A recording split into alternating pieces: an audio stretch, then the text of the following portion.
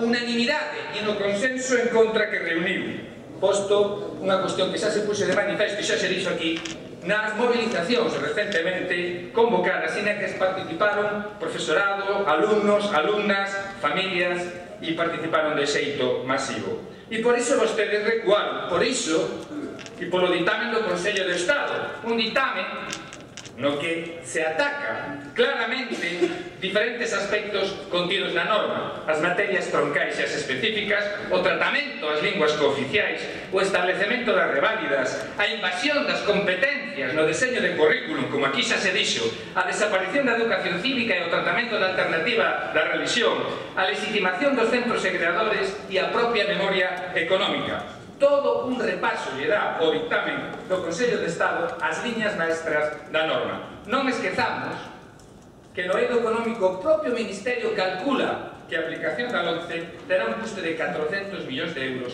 en custes directos, reservando os custes indirectos para as comunidades autónomas. E cales son esos custes, señor Conselleiro? Cales son os custes económicos, os custes humanos, os custes para a ciudadanía, os custes para o futuro de Galicia? Os, cal, os calculou vostede?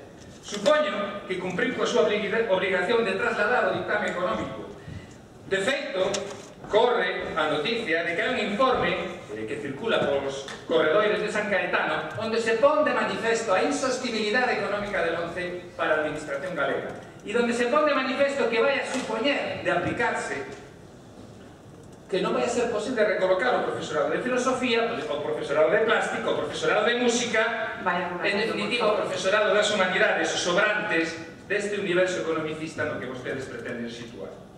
E en segundo lugar, creo que é tremendamente grave, e é que a LOMCE é unha norma absolutamente científica, unha norma que non incorpora ningún dos avances da pedagogía, da didáctica, non incorpora ningún avance da psicopedagogía, nada polo menos a, Lor, a LORSE, que vostedes tanto uh. criticaban nos anos 90, polo menos incluía as fontes do currículum, a fonte epistemolóxica, a fonte, eh, a fonte pedagóxica, psicolóxica, sociolóxica, tiña en conta o modelo constructivista, o aprendizaje significativo, o modelo de ensinanza individualizado, incorporou un montón de elementos da bancada pedagóxica. Vostedes renuncian a todo eso, carecen da máis mínima ambición. E por eso non ten unha lei absolutamente fanática adoece dun tremendo fanatismo político, porque o fanatismo é legislar contra a ciencia, pisoteando e ignorando os máis elementais, xa remato, señora Presidenta, gobernando contra o sentido común, contra a ciencia e a marxen da ciudadanía.